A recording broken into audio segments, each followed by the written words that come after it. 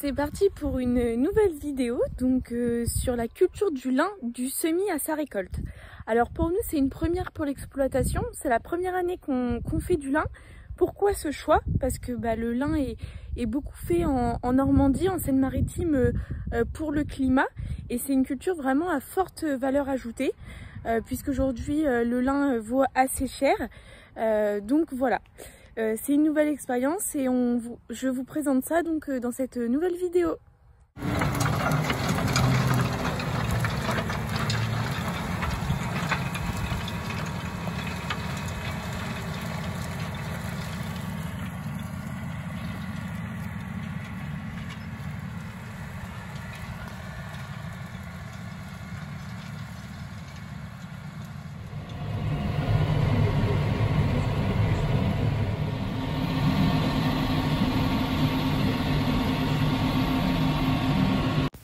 Donc avant le déchômage, euh, mon père a apporté les engrais pour euh, le lin. Donc là, on a apporté 36 unités d'azote, 34 unités euh, de phosphore et 78 unités de potasse. Donc voilà, il faut vraiment pas négliger les besoins du lin puisque c'est une culture bah, qu'on a besoin pour pousser rapidement après le semis.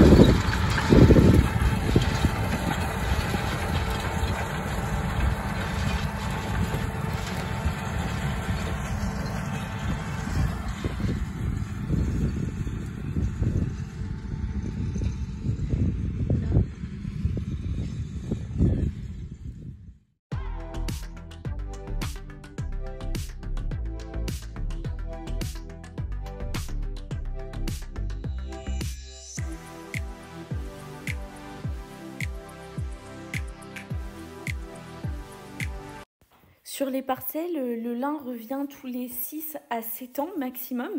Euh, il ne faut pas le faire plus rapproché, sinon les sols euh, s'épuisent et euh, aussi ça ajoute des maladies plus fréquentes sur le lin.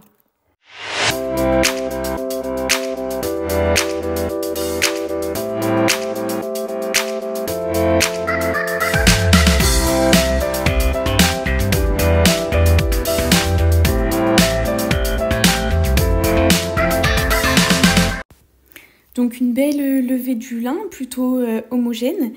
Par contre, euh, au vu du temps, bah, dès qu'il y, avait, y a un peu de chaleur, en fait, euh, les altises viennent. Donc c'est les petites bêtes noires qui, qui arrivent.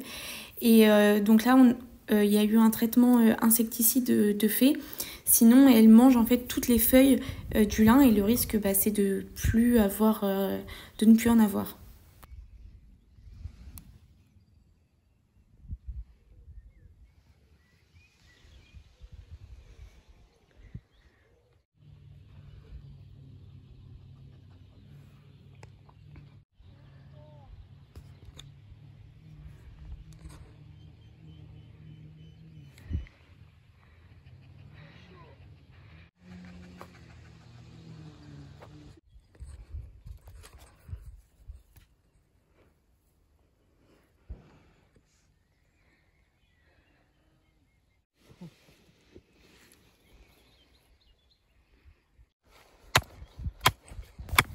Donc ça c'est pour euh, surveiller euh, sa longueur. L'idéal c'est que le lin fasse euh, à peu près 90 cm.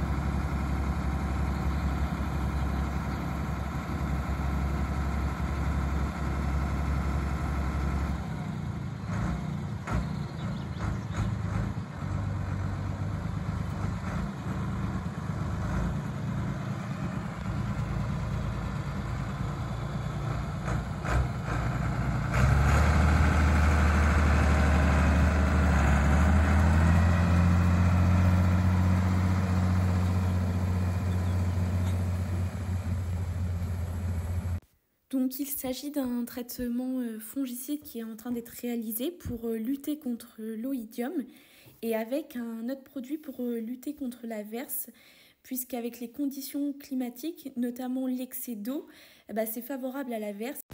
Si le lin verse, alors il perd en qualité et c'est plus difficile pour l'arrachage du lin.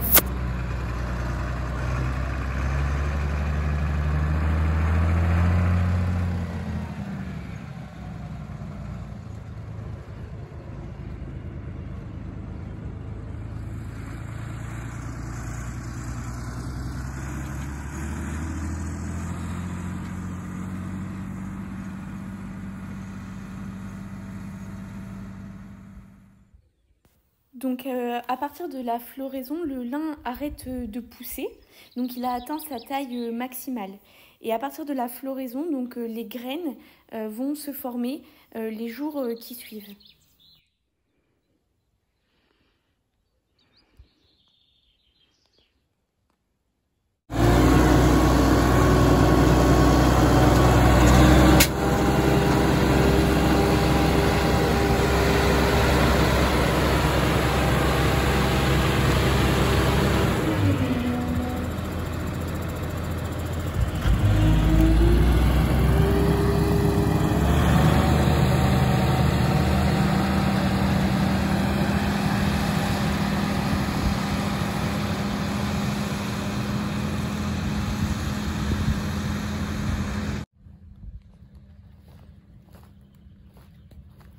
Donc le lin est arraché là car on considère donc qu'il est mûr. On voit qu'il est mûr quand il commence à devenir euh, euh, jaune, brun au niveau euh, des capsules, mais même au niveau des, tiges. Concernant l'arrachage, on fait donc appel à une exploitation qui est équipée d'une arracheuse puisque c'est vraiment un équipement bien spécifique et qui coûte cher. Il faut également bah, savoir le faire, c'est tout un art comme on dirait pour arracher du lin. you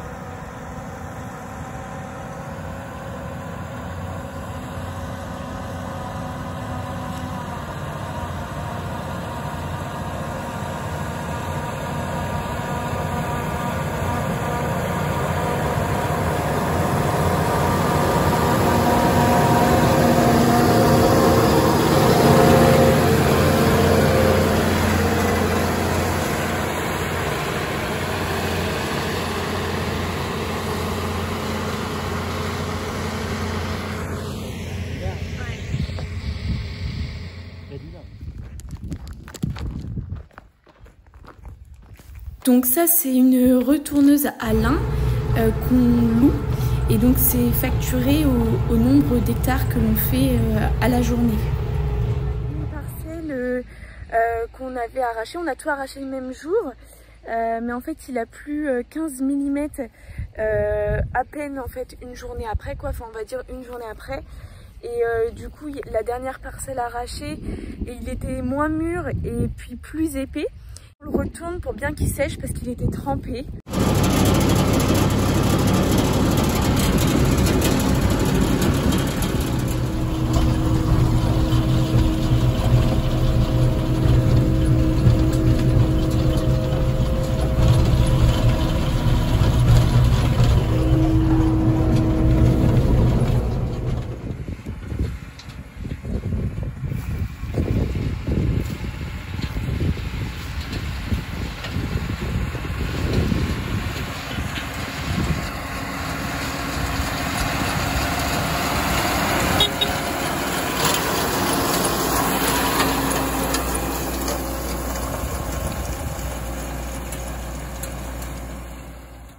Là, c'est avant d'être retourné.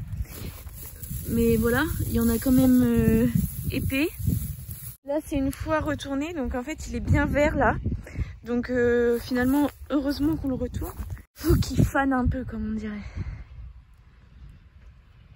Et euh, bon, par contre, voilà, il y a de la longueur. en fait, les nappes se croisent quasiment. Hein. Donc, fallait pas plus long, sinon après pour enrouler. Et puis bah là, même pour retourner, enfin c'est ça va pas.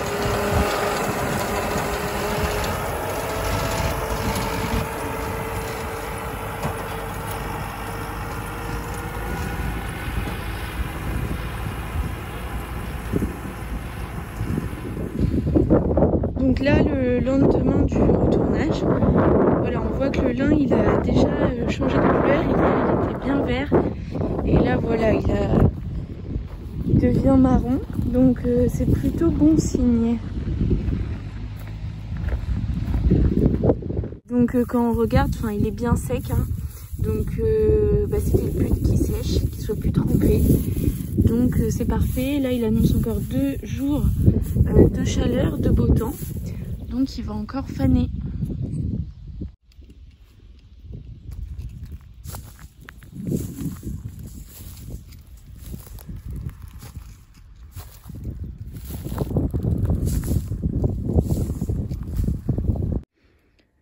Donc là on est, on est le 19 août. Euh, on a pris donc 12 mm euh, la semaine euh, passée. Donc il y a quelques jours maintenant, 3-4 jours. Donc ça a fait vraiment du bien puisqu'on n'avait pas du tout eu d'eau pour l'instant au mois d'août. Ou très peu. Donc euh, pour que le vin rouisse. Hein. Donc là il a quand même changé de couleur, on voit. Donc là il va être retourné euh, cette semaine. Il annonce encore de l'eau pour euh, fin de semaine. Donc voilà, ça devrait bien avancer concernant le rouissage du lin. 23 août, donc euh, le lin vient d'être retourné là euh, dans la journée. Donc euh, la pluie est annoncée demain, donc il devrait bien rouir. On est le 28 août. bon là il est un peu tôt ce matin. Je m'en vais en fait porter les échantillons de lin à la linerie pour savoir s'il est taillable. pour nous il n'est pas encore assez rouillé, mais vu qu'on avance dans les dates, euh, voilà, si on pourrait déjà quand même en enrouler un petit peu, euh, ça limiterait euh, les risques. Donc l'échantillon ressemble à ça. c'est environ, enfin, on, on, nous a dit de prendre 2 à 3 kilos de fibres quoi.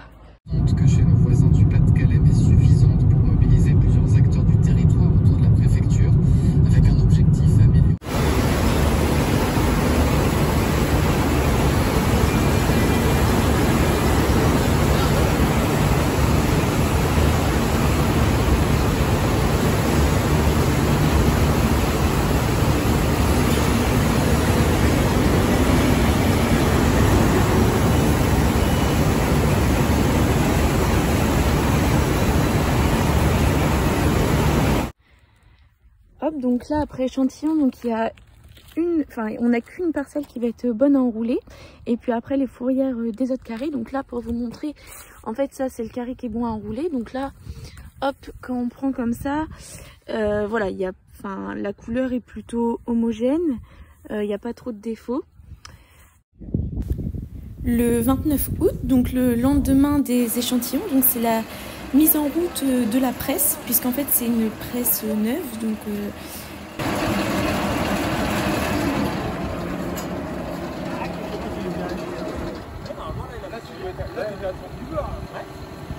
Pourquoi ils vont trop loin Je sais pas. T'as fait quoi là j'ai refait un default. C'est quoi ça C'est quand tu changes ton programme, tu fasses default après que tu recaliques ton papier. Tout à l'heure on l'a fait. Il a remarché. Ah là, faut faire calibre. Ah non, là, c'est bon, le, calibrage, le calibrage, il l'a fait le premier coup. Après, il a fait un peu Alors, sans le. On va essayer un ballon là. Mais là, on va réessayer un ballon. Il a même plus un ballon sur la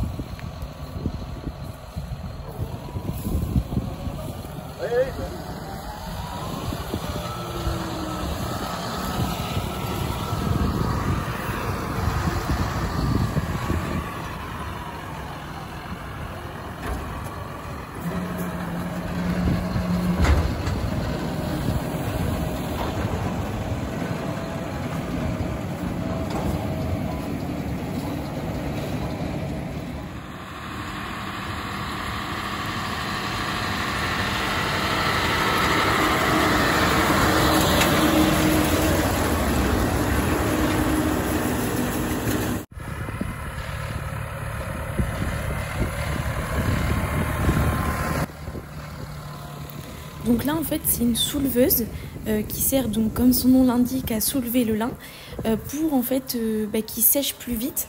ça, ça l'aère un peu et ça le décolle du sol.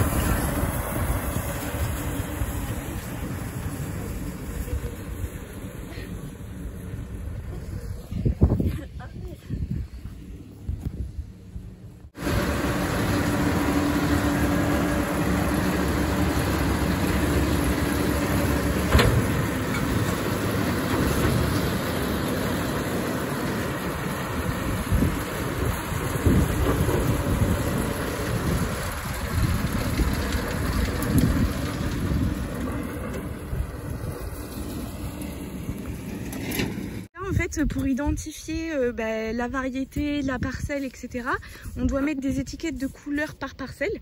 Donc là, bah, on a dit, euh, voilà, cette parcelle-là, ce sera des étiquettes orange. Donc on met les étiquettes. Et puis bah, c'est pour se retrouver au moment euh, du chargement du lin, en fait, à quoi ça correspond.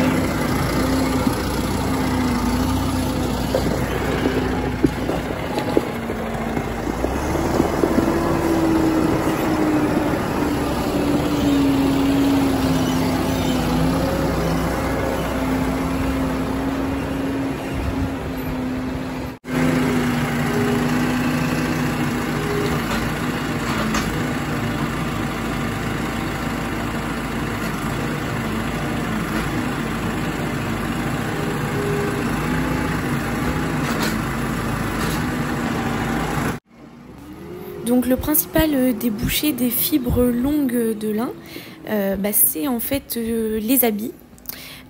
pour tout ce qui va être linge, décoration, vêtements, etc. Donc ça c'est vraiment le débouché du lin. Donc beaucoup de, de, lin part en fait en Chine, donc à l'export.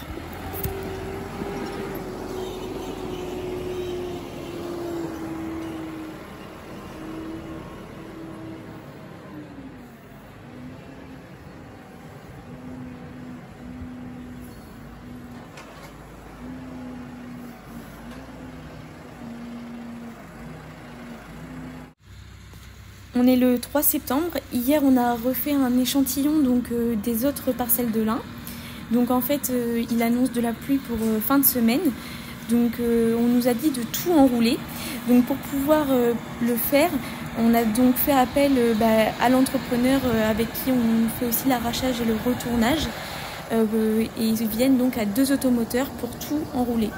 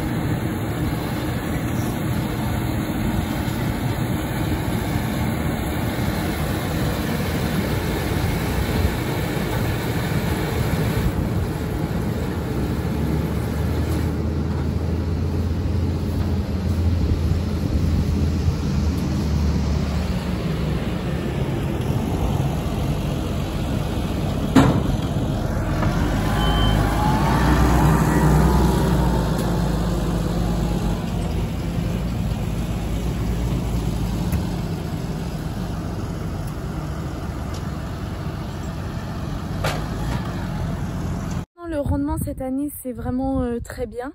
Euh, on va être sur des tonnages, euh, là on parle de au moins 8 tonnes, donc c'est vraiment bien, ça fait plus de... ça fait au moins 5 ans donc qu'il n'y avait pas eu des bolins comme ça dans la région à cause du climat, soit c'était une année trop sèche, soit bah, voilà, trop de pluie au moment du SMI, etc. Là, les conditions ont vraiment été plutôt idéales et donc cela sort vraiment des, bons rendements cette année. J'espère que cette nouvelle vidéo sur la culture du lin euh, vous a plu et je vous dis à bientôt pour une prochaine vidéo.